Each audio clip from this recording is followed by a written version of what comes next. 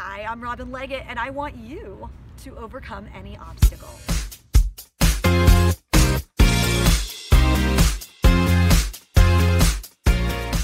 So tell me something. What do you think is the number one thing that you need to do to overcome any obstacle? And by that I mean, say, start a new sport that may seem intimidating, or achieve a bold fitness goal, or start a new nutrition plan, or even literally overcome an obstacle, say, at a race that has obstacles. What do you think is the number one thing you need to do? Well, there's a few things that are important. Practice, obviously practicing a skill, you're going to get better at that skill, so it's important to practice. Determination, I think it's important to be focused and determined and stay on track.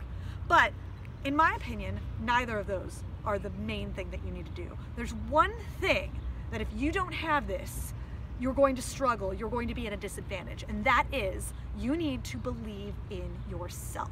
If you don't believe in yourself, it's going to make everything you do that much harder because you just don't believe in your core that you can do it. So I'm talking to you about this today because I've actually been talking to a lot of athletes for my podcast that do high level sports, that do marathons and triathlons and ultra marathons and ultra swims and ultra bike races and really just high level sports. And in these conversations, a common thread that comes up is that when they started, they believed they could do it. And despite how intimidating everything was, they believed they can do it. And that really struck a chord with me, and that's why I decided I wanted to talk to you about this today. And I personally have experience with this. When I started Spartan racing, I saw the monkey bars, and I looked at that obstacle with the fat rungs that were far apart, and I looked at myself with my short wingspan and tiny hands, and I, I thought, you know what, there's no way. There's no way I'm ever going to be able to do this. I want to, but I just don't see it happening. So I, I still practiced. Like I practiced, I worked on my grip strength, I worked on my upper body strength, but I'd still get to that obstacle and fail it at all the races. And it wasn't until a race where I was racing with someone who was my size.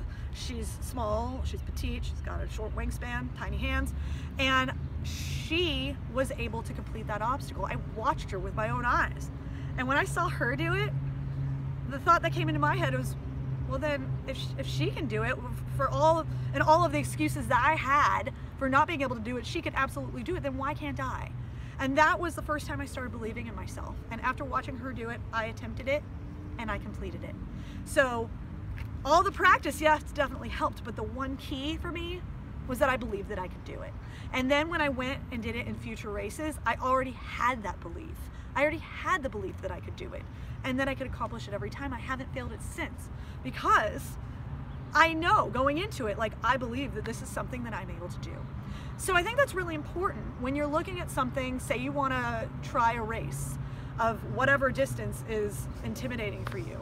Do you look at that and you're like, I, I can't do that. That's not something I can do. Or do you look at that as, I believe that's something I can accomplish with practice, with determination, with focus. I believe I can do it. Have that belief first before you make the attempts, before you do the practice, but go into it with the belief and you're gonna have that much better of a chance of completing it and likely before you even expect it. So that's my advice to you today. I want you to look at something that seems challenging or intimidating or impossible for you, but something that you wanna do. And I want you to work on believing in your soul that you can do it and see how that helps you going forward, okay? So that's my word of advice today, or my phrase of advice today believe in yourselves. So take that with you, go out and embrace your extraordinary today.